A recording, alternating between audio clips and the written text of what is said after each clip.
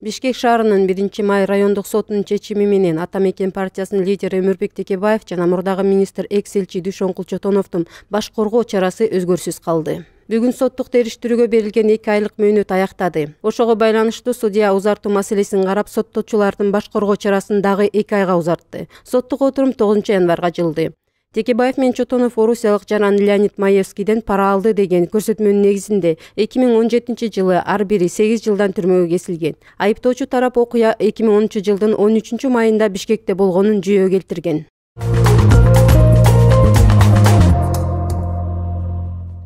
бишкектин мурдагы мэрлери кубанычбек кулматов менен албек ибраимов жыйырма үчүнчү декабрдагы сот отурумунда акыркы сөзүн сүйлөштү. Андан соң сот тыныгууга чыкты. Кубанычбек кулматовдун адвокаты сергей слесаров түштөн кийин өкүм чыгышы ыктымалдыгын айтты. Кулматов кытай берген акчага бишкектин четиндеги калыс ордо конушунда мектепти курууга кеткен эки миллион долларды пайдаланууда жемкорлукка барган деп соттолууда. Кулматов акыркы сөзүндө бул мектептин долбооруна катышы бар экенине сыймыктанаарын билдирип мамлекеттик айыптоо адилеттик үчүн иштебей атайын каралоо менен гана алек болгонун белгиледи.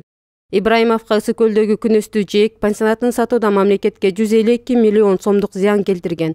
Дастан ишканасын жетектеп турганда эки жүз жетимиш миң доллар өлчөмүндө мыйзамсыз сый акы алган жана бишкектин түштүгүндөгү беш гектар жерди мыйзамсыз бөлүп берүүгө тиешеси бар деген айыптар коюлган. Ибраимов да акыркы сөзүндө иштин баары куру доомат экенин билдирди. Жана мурдагы президент алмазбек атамбаев менен тааныш экенине кызматташканына сыймыктанаарын айтты мамлекеттик айыптоо ибраимовду жыйырма кулматовду он беш жылга кесүүнү суранган. Экөө тең эки миң он сегизинчи жылдын жайынан бери улуттук коопсуздук боюнча мамлекеттик комитетинин тергөө абагында отурган.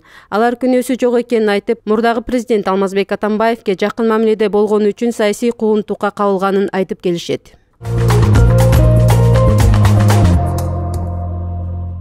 борбордо эки маршруттук унаа кагышып алты киши жабыркады. Бул туурасында жол кыймылынын коопсуздугун камсыздоо башкы башкармалыгынын маалымат кызматынан билдиришти. Жол кырсыгы жыйырма экинчи декабрда саат тогуз кыркта жетинчи апрель көчөсүндө болгон. Эки кичи автобус тең түндүк тарапка бараткан. Кырсыктын кесепетинен ооруканага алты киши кайрылган. Милиция окуянын чоо жайын териштирип жатат